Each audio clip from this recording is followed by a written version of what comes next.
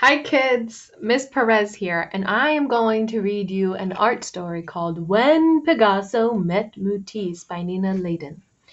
And actually, they got the word Pigasso from Pablo Picasso, who was a very famous artist, and Mootisse from Henri Matisse, who also was a very famous artist, and they both lived around the same time. Now, this story will show us a little bit of what their life could have been like. So let's get started. When Pigasso Met Mootisse by Nina Laden. Ooh, he does not look happy. And neither does he. What in the world? I wonder what's going to happen. Hmm. There once was a young pig named Picasso. While other piglets rolled in the mud and played games, Picasso painted. He painted anything and everything, and in a most unusual way. This is pretty unusual. Her eyes are up here, and this one is down here. They're both different colors. Look at this face, it's all distorted. Hmm. This is called abstracted art because the figure is abstracted. It doesn't look 100% realistic. Interesting, Picasso. Excuse me, Picasso.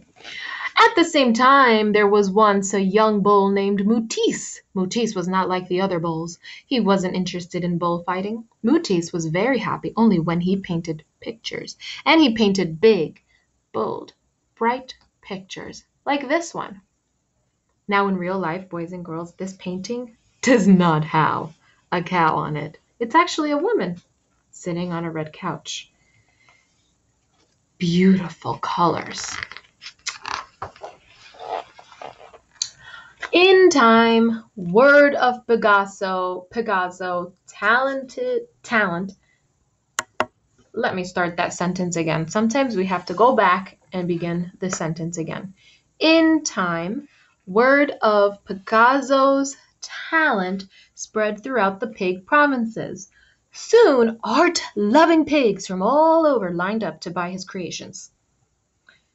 Boys and girls, this painting is called, in real life, Les Demoiselles d'Avignon, and that's French for uh, Sorry, can't help you there. I'm not, I don't speak French. But the painting is, you can find it at the Modern Museum of Art, aka the MoMA, at, in New York City. So you could actually go to that museum when we're able to go and look at this beautiful artwork. You won't see the pig noses, though, I will tell you that much. At the same time, Matisse was getting famous in the cattle community. There weren't many households that didn't own a moosterpiece. Get it? Moosterpiece. You're very clever, Matisse. Very clever. Picasso and Matisse were becoming art superstars, but this came with a price. Everybody wanted to see them. Art buyers, art sellers, art students, art historians, art groupies. It was an art attack. Ah! One day, Picasso got fed up and said, I'm tired of this noisy pig pen. At the same time, Matisse declared, I'm sick of this crowded cow town. Needing a change, they both decided to look for a peaceful place where they could paint without distractions. Oh, there you go. Look at that. These are the two same illustrations that were in the beginning of the story. So it was giving us a hint as to why they got frustrated and were upset. Okay, I wonder where they're going to move to. Hmm, I wonder where is it peaceful. Ooh. So each of the two artists looked far and wide for the perfect spot. Picasso found a lovely farm looking towards the east.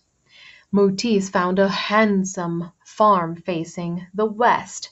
After Picasso moved in, he went to introduce himself to his new neighbor across the road. At the same time, Mootisse went to introduce himself to his new neighborhood neighbor across the road. That is how Pigasso met Mootisse. And coincidentally, that is how Mootisse met Pigasso. They're so tiny over here. And you know what? That shows us that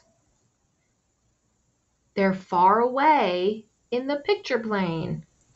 The bigger the objects, the closer they look to us. Interesting, boys and girls. Aha! The art teacher discovered a landscape. At first, Pigasso and Mootisse were friendly and welcomed each other as neighbors. But soon, dun dun dun, things began to change. Dun dun dun. I wonder what's gonna happen in the second half of the story. I guess you're going to have to stay tuned for our next portion of the story tomorrow because I am not going to read it today because Miss Perez wants you to wonder and I want you to predict what you think is going to happen next. There are so many possibilities and if you would like to send me an email, you can with your predictions. Have fun, and I hope you guys have a wonderful day. Stay tuned tomorrow for the second half of this wonderful story.